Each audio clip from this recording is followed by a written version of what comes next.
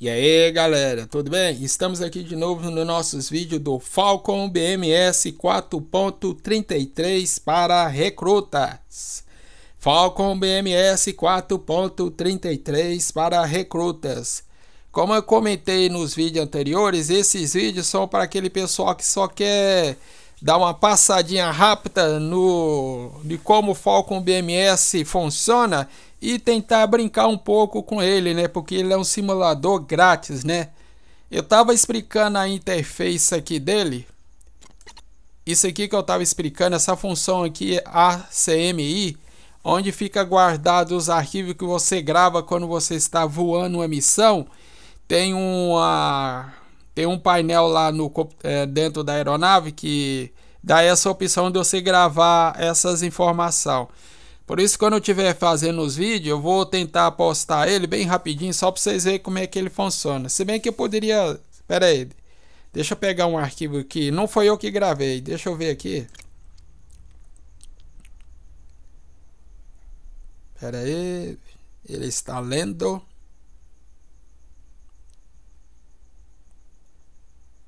Ele está lendo.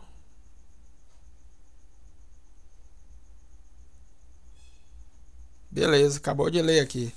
É, aqui tem algumas informações aqui, informação interna, órbita, close, satélite com a vista de cima, né? Essa aqui eu não sei qual o nome que se dá, flane e tray, que eu acho que é para armamento. Isso aqui é, é, quando você gravou a informação. Vamos ver o que, que esse piloto estava fazendo aqui.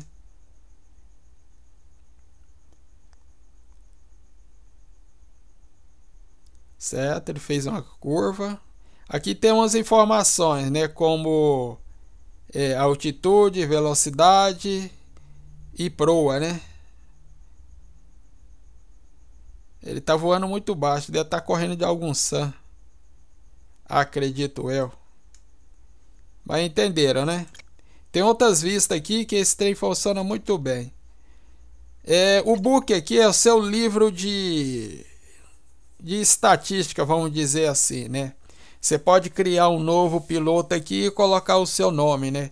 Esse esquadrão aqui você pode escolher também qual esquadrão você quer participar. Se bem que isso aqui é mais é só configurativo, né?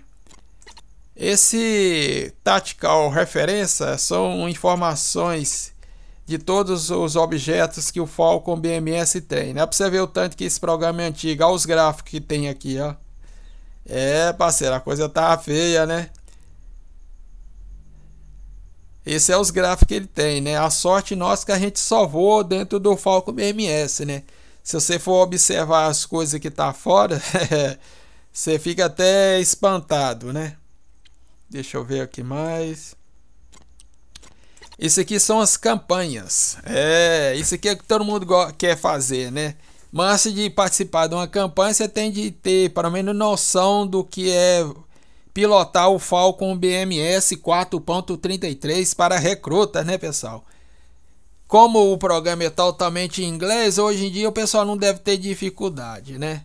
Porque as campanhas para você executar, você tem de saber o que tem de fazer e você tem de saber usar o, o equipamento que você tem, que é a aeronave, né?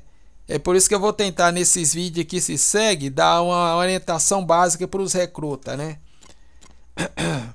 Aqui, desculpa aí. Tactical Engage ou engana, é, nossa senhora, que inglês, hein? Essa página aqui, desculpa aí, onde fica as missões de treinamento. Eu vou ignorar isso aqui. E aqui é onde fica as missões salva, né? Essa parte online aqui é para configuração, se eu não me engano, para vocês voarem com outros pilotos, mas vou desconsiderar também, porque eu não vou passar por essa parte. Vou tentar dar uma olhada só. Pera aí, antes de ir para frente, deixa eu ver aqui.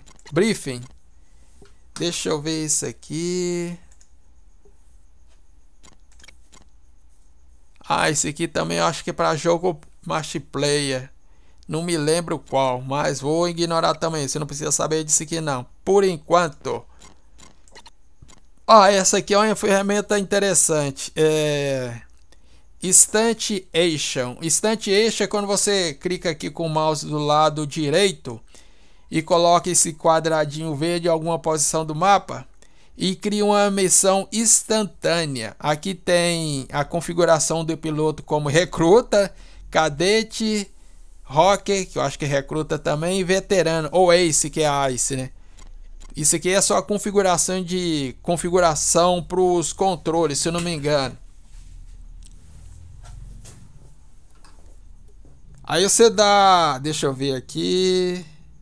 Você pode ser missões AAA ou missões de SAN, né?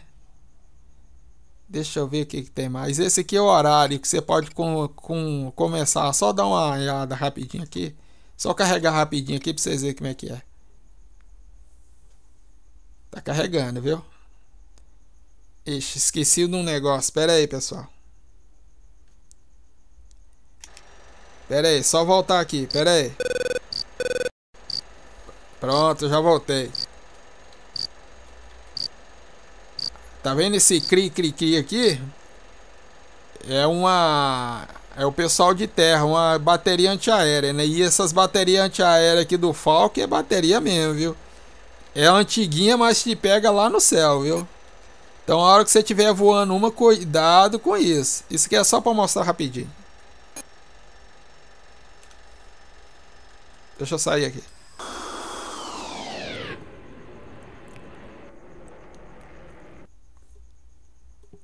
You know, the airlines are hiring. Pronto, voltamos aqui. É, essa aqui é onde você pode criar suas missões. Deixa eu ver. Treino, salvado, pode ser qualquer um. Você pode criar e editar depois, ou deletar, né? Vamos dar uma olhada lá no mapa rapidinho? que nossos 10 minutos tá estourando de novo. Simulador Falcon BMS para recruta, pessoal. Falcon BMS 4.33 para recruta. Aqui está o mapa da Coreia, pessoal. Coreia do Norte e Coreia do Sul. Como eu estava falando, esse, esse programa é muito antigo. A primeira coisa que eles deviam fazer é criar outro teatro padrão, de preferência fora disso aqui Tira outro teatro, qualquer outro lugar do planeta, fi. E dá uma atualização gráfica nele. Mas para isso você tem que ter um caminhão de dinheiro, né?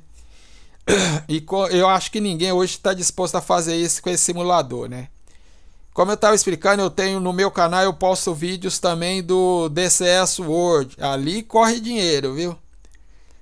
Só que lá estão lançando uma nova aeronave. Para quem conhece o DCS World, estão lançando uma nova aeronave lá. Tem muitas aeronaves boas lá para a gente pilotar, mas deixa isso para lá. Como eu estava explicando, esse programa aqui, o pessoal não investe dinheiro nele, né? Só faz algumas atualizações. Na minha opinião, a primeira coisa que deviam fazer é desmanchar tudo isso aqui. Só que na época que esse programa foi criado, ele foi criado para como vocês podem observar, tem poucas ferramentas. Na verdade, todas o, as missões criadas pelo programa ele cria automaticamente, por isso as ferramentas são limitadas. No próximo vídeo eu vou tentar explicar isso melhor, porque meus 10 minutos já foi, pessoal. Vamos começar daqui em diante, nessa página aqui de criar missões. Valeu? Fui!